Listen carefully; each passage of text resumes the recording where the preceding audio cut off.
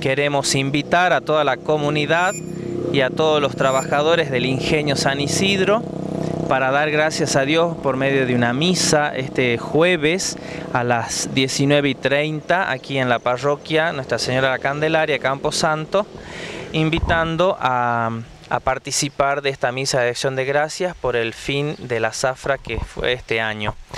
La particularidad de este acontecimiento nos convoca como pueblo y como comunidad para dar gracias a Dios y también a dar gracias a San Isidro Labrador, que es el patrono del ingenio.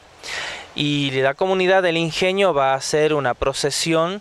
A partir de las 18 se van a concentrar en las puertas del ingenio y van a salir desde allí con las maquinarias y con todo el personal administrativo y también el personal que trabajó en el ingenio y las familias que quieran acompañar desde el ingenio por avenida hacia la avenida Hipólito Irigoyen y de ahí se van a dirigir hasta la parroquia. Bueno, eh, ¿la misa a qué hora comenzaría? La misa va a ser a las 19 y 30.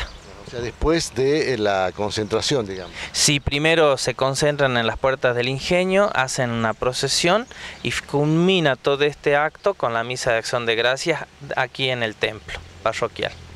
Bueno, la imagen, ¿a quién pertenece la imagen de San Isidro?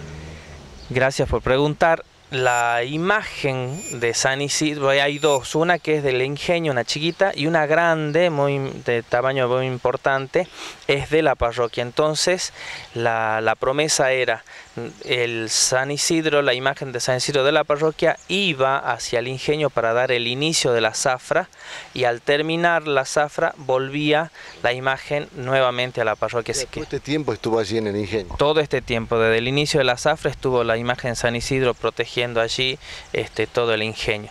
Entonces ahora ellos lo devuelven y para el año que viene volver a repetir.